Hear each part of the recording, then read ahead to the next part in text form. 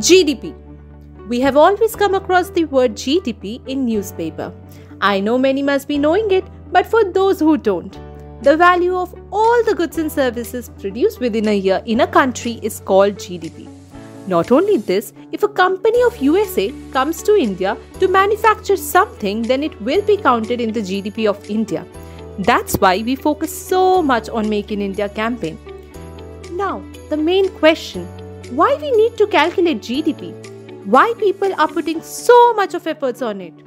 If I explain you in simple terms, if the GDP is going up every year, that means the production is more. In the country, that indicates the economy is doing great. But if the GDP is falling every year, that means lesser goods and services are being produced in the country.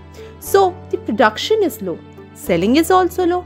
As a result, business will earn less which will indeed reduce the purchasing power of people and vice versa. So, here comes the question of what we add in GDP and what not. Assume I want to eat an omelette, so I go and buy egg. The price of that egg will be added to GDP. But if a baker buys that egg to make or to sell it further, in that case, the price of egg will not be counted Rather, the price of the final product, that's the cake, will be added in the GDP. Investment is also counted in GDP, which has always been a risky and complicated process. And deciding where to invest to get maximum profit is more difficult. And add ons are the unexpected thing, just like Corona, due to which the market suddenly changed. Few companies were closed, while few sustained and had a great growth. GDP grows in two cases. The first one is the real GDP. It is a way of measuring a nation's output in terms of the value of its goods and services, its investment, government spending, and export, with the prices of the base year. While second is the nominal GDP. It is a way of measuring the value of all the goods and services produced by an economy at a current market price in a financial year. Now, some interesting facts the GDP of UK and India is almost same. But due to population, UK's GDP is considered better due to the huge difference in GDP per capita. The second one, India has 5 times registered negative GDP. The reason is the massive 2021 that GDP fell by a record 7.3% due to lockdown. Though GDP is always said to be the indicator of economic health of the nation, is it really India is rich in resources, yet it is not counted in the top manufacturing or service sector, which is affecting the GDP. Why our country's GDP is down? Let's discuss some reasons behind this. There are various reasons why India's GDP is not growing over the year. The first reason is manufacturing and service sector, the second is urbanizing rural population, and the third is fiscal deficit. These are few points our government need to focus to spike up the GDP graph. Now let's look at these reasons one by one. Manufacturing and service sector.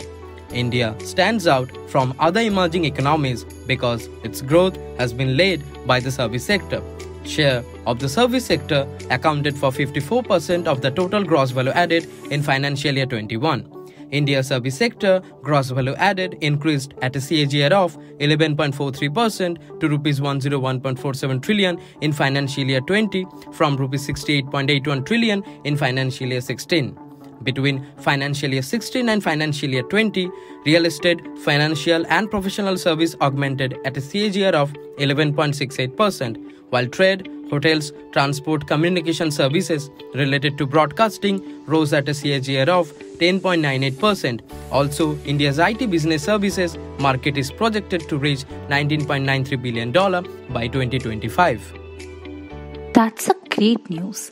But despite of such nice manufacturing and service sector, India is still lagging behind in areas like tourism. We know India is six times bigger than Thailand and has so much diversity in culture and a rich history but it gets just one third of the number of tourists. It is a matter of concern as well as an opportunity for the government. That is, upliftment of this sector will help to meet the huge demand. We should not forget that India is the world's third largest renewable energy producer with 38% of energy capacity installed in the year 2020. With this renewable resource, there will be a rise in productivity, but due to the lack of knowledge and innovation, we are not reaching the expected goal. Hmm. I feel the need to urbanize the rural population and focusing on unorganized sectors is extremely needed. You know, according to the World Bank's collection on development indicators, India has 65% of rural population. This is a very large hidden source of our country.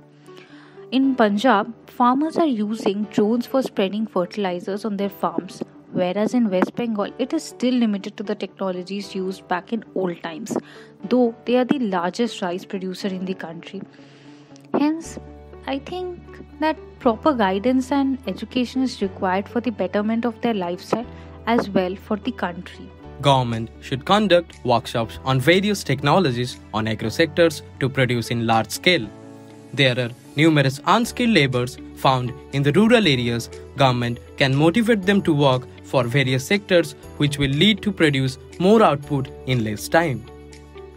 One of the biggest hurdle in boosting GDP is the high government spending which exceeds the income.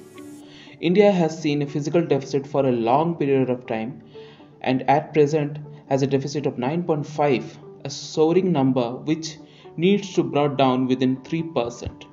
Since India has a service based economy and if the manufacturing sector is boosted, then the problem of fiscal deficit can be resolved gradually. Now, putting it all together, we can conclude the absolute growth in real GDP over financial year 20 would be a marginal 1.3%. Nominal GDP is estimated to grow at 17.6% compared to a fall of 3% in financial year 21.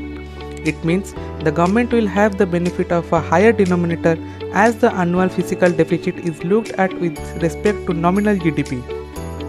Manufacturing is likely to expand at 12.5% while construction may rise to 10.7%. Trade, hotel, transport and communication despite showing a high at 11.9% this year have still not made up for output lost since financial year 20. Studies have also shown that Indian cities are likely to contribute to 70% of India's GDP by 2030. All of these findings are reflected in the exponential rate of urbanization that the country is undergoing. Underground economy activity negatively affects economic growth and reduces tax revenues for all levels of government, putting pressure on the government's ability to provide the services and benefits. Countries that are open to international trade tend to grow faster, innovate, improve productivity, and provide higher income and more opportunities to their people. Foreign trade has played an important role in India's economic growth in the past two decades.